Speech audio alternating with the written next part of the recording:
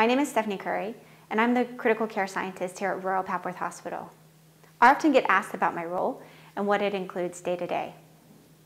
As a healthcare scientist, one of the things that I enjoy most about my role is how varied it is. There's a good mixture of clinical and non-clinical skills that I would use.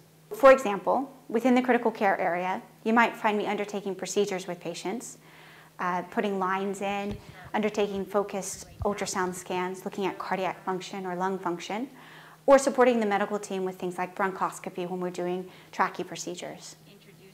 Around the rest of the trust, you also might find me undertaking procedures with patients, mainly from a vascular access point of view, putting PICCs in patients uh, on the wards or within the outpatients department.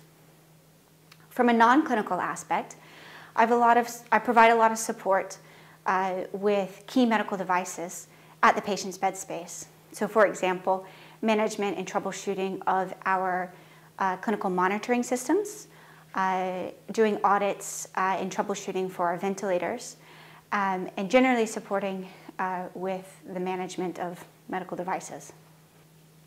Education is also a big part of my role as a critical care scientist supporting clinical skills development for our junior medical team within the critical care area.